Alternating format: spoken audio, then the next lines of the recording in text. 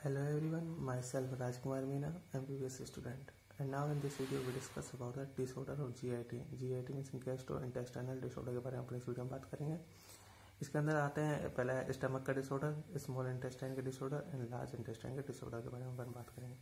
सबसे पहले बात करते हैं स्टमक का डिसऑर्डर स्टमक का डिसऑर्डर कौन बोलते हैं? गैस्ट्रिक डिसऑर्डर गैस्ट्रिक डिसऑर्डर में सबसे पहले आता है गैस्ट्राइटिस गैस्ट्राइटिस के अंदर क्या होता है? In this disorder inflammation erection और erosion of the stomach mucosa किसी बैक्टीरिया या वायरस के द्वारा जो स्टमक की इनर म्यूकोसा लेयर है, उसका इन्फ्लामेशन होना या फिर उस इनर म्यूकोसा लेयर का इरोजन या इरेक्शन हो जाना मतलब उसमें जलन वगैरह होना तो उसके कारण गैस्ट्राइटिस होता है या फिर उसी को अपन गैस्ट्राइटिस बोलते हैं। इसके कोजेस की बात करते हैं कि गैस्ट्राइटिस के कोजेस क्या क्या है? पहले bacterial and virus infection for example Helicobacter pylori bacteria इसके द्वारा गैस्ट्राइटिस होता है। बाइल रिफ्लेक्स बाइल का वापस स्टमक के अंदर आने पर गैस्ट्राइटिस हो जाता है। एक्सेसिव एल्कोहल यूज़ एल्कोहल के ज़्यादा यूज़ करने पर एंड मेडिकेशन मतलब कुछ ड्रग्स या दवाई वगैरह, जैसे कि एस्प्रिन एस्प्रिन के ज़्यादा यूज़ करने पर गैस्ट्राइटिस हो जाता है।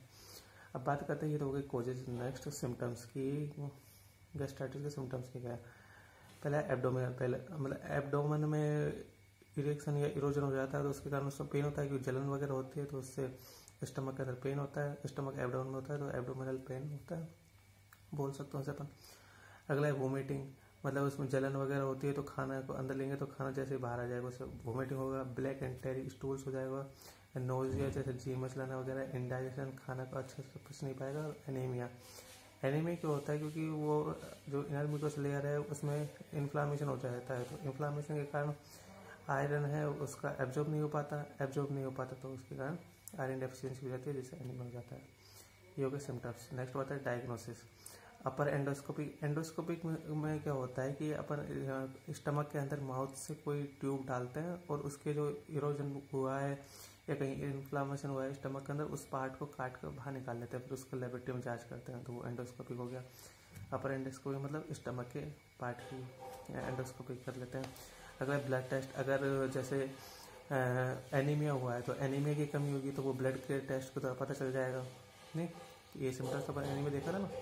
एक स्टूल टेस्ट स्टूल टेस्ट में ब्लैक एंड स्टूल्स निकलता है तो उससे अपन स्टूल टेस्ट के द्वारा पता कर सकते हैं।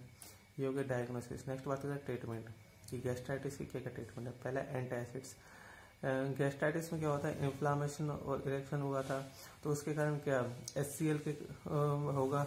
एस सीक्रेट होगा स्टमक से तो स्टमक से एस सीक्रेट होगा तो वो इरोजन हुआ है पार्ट या इरेक्शन हुआ है मतलब जलन वगैरह होगी तो वो और से बढ़ा देगा एसिड है जो। नहीं, क्योंकि वो इनर म्यूकस लेयर पर अटैक करेगा और उस लेयर तो वैसे ही उखड़ी हुई है मतलब वो हटी हुई है तो वहाँ पे और जलन वगैरह होगा। तो इससे अगर अपन एंटी एंटासिड देंगे जो मतलब उस एस के इफ़ेक्ट को कम कर देगा तो इससे एब्डोमिनल का पेन वगैरह नहीं होगा। है ना? एंटासिड अब प्रोटोन पंप इनिबिटर क्या होता है कि जो एस सी एल होता है ना एसिड को कम कर देते हैं स्टमक के अंदर एसिड को कम कर देते हैं। तो अपन प्रोटोन पंप इनिबिटर दे सकते हैं तो रिड्यूस स्टमक एसिड एंड अगर इसमें कोस्ट एनीमिया है तो अपन विटामिन बी बारह दे सकते हैं। ये ट्रीटमेंट हो सकता है। Avoiding hot and spicy food मतलब गर्म और चटपटे खाने को अपन अवॉइड कर सकते हैं। ये ट्रीटमेंट के रूप में गैस्ट्राइटिस को हो सकते हैं। नेक्स्ट डिसऑर्डर की बात करते हैं एक्लोराइडिया ये अभी स्टमक के डिसऑर्डर चल रहे हैं गैस्ट्राइटिस एक्लोराइडिया है ना? तो एक्लोराइडिया में क्या होता है? In this disorder stomach fails to secrete S मतलब स्टमक है जो एस को सिक्रेट नहीं कर पाता है। स्टमक का सिक्रेट नहीं होगा तो जो गैस्ट्रिक सिक्रेशन होगा, उसमें एससीएल नहीं होगा, है ना? अगर एससीएल नहीं होगा तो एससीएल क्या करता है स्टमक और इंटेस्टाइन के अंदर बैक्टीरियल ओवर ग्रोथ होती है ना, उसे कम कर देता है। या उसे खत्म कर देता है। तो एस नहीं होगी तो बैक्टीरियल ओवर ग्रोथ है, वो इंक्रीज हो जाएगी।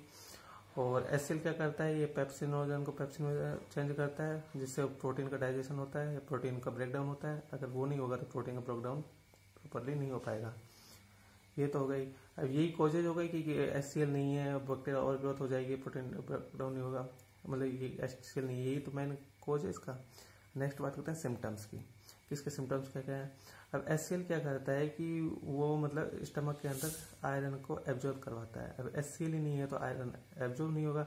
एब्जॉर्ब नहीं होगा तो एनीमिया हो जाएगा, है ना? Without S stomach does not absorb iron next है डायरिया डायरिया कंडीशन आ जाएगी। अनडाइजेस्टेड फ़ूड इन स्टूल्स मतलब प्रोटीन है, उसका डाइजेशन नहीं होगा तो वो बिना डाइजेशन के ही मतलब चल जाएगा, है ना? इनडाइजेशन मतलब एपच की कंडीशन आ जाएगी नोजिया वोमिटिंग वगैरह जी मसलाना हो जाएगा। ये हो गए सिम्टम्स नेक्स्ट बात करें डायग्नोसिस इसके डायग्नोसिस स्टमक पीएच टेस्ट अब जो स्टमक एसिड है मतलब वहाँ पे एसिड ही नहीं होगा स्टमक के अंदर तो उसका पीएच होगा, वो एल्कलाइन होगा तो अपन, होगा नहीं एस तो एल्कलाइन पीएच होगा वहाँ तो अपन पीएच का टेस्ट करेंगे तो हमको पता चल जाएगा कि एस है या नहीं है, नहीं स्टमक के अंदर। बस ये है ब्लड टेस्ट ब्लड टेस्ट के अंदर मतलब अनडाइजेस्टेड फ़ूड होगा मतलब ब्लड टेस्ट एनीमिया के लिए हो सकता है और एक स्टूल टेस्ट भी हो सकता है अनडाइजेस्टेड फ़ूड के लिए, नहीं? नेक्स्ट बात करते हैं ट्रीटमेंट एंटीबायोटिक्स जैसे एसिल नहीं है तो एसिल नहीं है तो क्या होगा? बैक्टीरियल ओवर ग्रोथ बढ़ जाएगा, है ना? बैक्टीरियल इन्फ्लामेशन या बैक्टीरियल ओवर ग्रोथ बढ़ जाएगा स्टमक के अंदर तो अपन एंटीबायोटिक्स दे सकते हैं, जो बैक्टीरिया की ग्रोथ को कम कर दे। विटामिन बी बारह अगर एनीमिया हुआ है एक्लोराइडिया कंडीशन में तो अपन विटामिन बी बारह देकर इसका ट्रीट कर सकते हैं। Reduction of withdrawal of the proton pump inhibitor proton pump inhibitor क्या होते हैं कि स्टमक के अंदर जो एससीएल है या स्टमक एसिड है, उसे कम कर देते हैं। तो है ना? ये कम कर देते हैं। अब एक्लोराइडिया में तो एससीएल पहले ही कम है। अगर अपन इसे भी रखेंगे, इसे देंगे तो आप एस और कम हो जाएगा। तो ये प्रोटोन पंप इनिवेटर को रिडक्शन कर देते हैं या फिर उसे बाहर निकाल लेते हैं विड्रॉल कर लेते हैं। तो इससे भी इसका ट्रीटमेंट किया जा सकता है। नेक्स्ट बात करते हैं अपन पेप्टिक अल्सर की। पेप्टिक अल्सर में क्या होता है? In this disorder stomach acid damage the lining of the intestinal mucosa इस डिसऑर्डर में क्या होता है कि जो स्टमक होता है ना, वो अपनी म्यूकोसा की, वो मतलब स्टमक की जो इंटेस्टाइनल मतलब इनर स्टमक की इनर लाइन होती है या फिर इंटेस्टाइनल म्यूकोसा होता है, उसको डैमेज कर देता है। और डैमेज क्यों होता है? एबसेंट ऑफ़ गैस्ट्रिक म्यूकोसा होता क्या है कि जो ये अपना स्टमक है, स्टमक के अंदर एक गैस्ट्रिक म्यूकस है है ना? अब यहाँ पे एससीएल है तो एस इस पर अटैक कर देगा, करता है ना?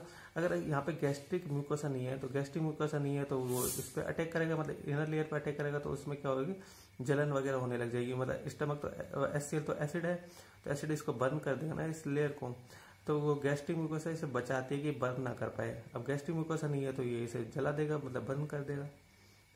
गैस्ट्रिक मुकोसा या डाइजेस्टिव जूस एबसेंट होगा। तब तो अगर ये अटैक करेगा तो क्या होगा? एक्सकोरेटेड एरिया जनरेट होगा। मतलब जैसे अपनी नाखून होती है तो नाखून की कभी कभी खाल हट जाती है ना तो उसे अपन एक्सकोरेटेड बोलते हैं। मतलब जो खाल का हटना या फिर इरोजन होना। बस वही। तो एस इस पर अटैक करेगा तो इससे हो जाएगा। तो होगा क्या? The wall of stomach change in exported area अगर ये नहीं है तो एस अटैक करेगा तो हो जाएगा एक्सपोर्टेड एरिया में तो ये कोशिश होगी कि एस सी एल मतलब गैस्ट्रिक म्यूकोस है डाइजेस्टिव जूस एबसेंट है तो एस सी एल उस पर अटैक करेगा एस सी एल अटैक करेगा तो एक्सकोजेट हो जाएगा। तो कोशिश क्या थे कि एस सी एल का अटैक करना इंटेस्टाइनल म्यूकोसा के ऊपर। नेक्स्ट बात करते हैं सिम्टम्स अब वो करेगा, इसको बर्न कर देगा बर्न करेगा तो इसमें पेन होगा। स्टमक एबडाउन में तो एबडाउन में पेन होगा। वेट लॉस होगा खाने को मतलब पेट में दर्द रहता है तो खाना खाने का मन नहीं करता है तो खाना नहीं खाएँगे तो फिर क्या होगा? वेट लॉस होगा। नोज़ और वोमिटिंग वोमिटिंग वगैरह होगी। ये खाना, पेट में दर्द हो रहा है, अब खाना पच नहीं पाएगा ना? तो जा बढ़ जाएगा हार्ट बर्न मतलब जलन जैसी महसूस होगी चेस्ट के ऊपर तो वो से heartburn and anaemia iron का एब्जॉर्ब नहीं हो पाएगा, क्योंकि वो एस है जो मतलब जो गैस्ट्रिक म्यूकोस है, वो है ही नहीं। नहीं? आयरन का एब्जॉर्ब नहीं हो पाएगा।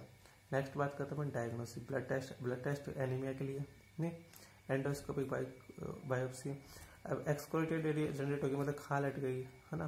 तो अपन एंडोस्कोपी में क्या करते हैं मुँह से पाइप हो जाएगा और स्टमक से और उसकी लेयर जो एंडोस्कोपिक एयर है, उसकी किसी टुकड़े को बाहर निकाल के और लेबोरेटरी में टेस्ट करते हैं। तो उससे अपन पता कर सकते हैं, है ना? नेक्स्ट बात करते हैं ट्रीटमेंट ट्रीटमेंट के दौर में पहले क्या है? सर्जरी सर्जरी में एंडोस्कोपिक एरिया को काट के बाहर निकाल देते हैं तो इससे से पेप्टिक अल्सर को ट्रीट किया जा सकता है। PPI block the stomach cell the produce acids है ना?